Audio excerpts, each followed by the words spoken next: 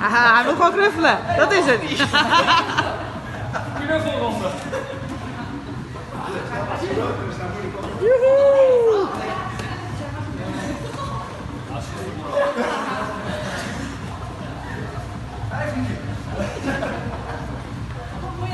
Ja?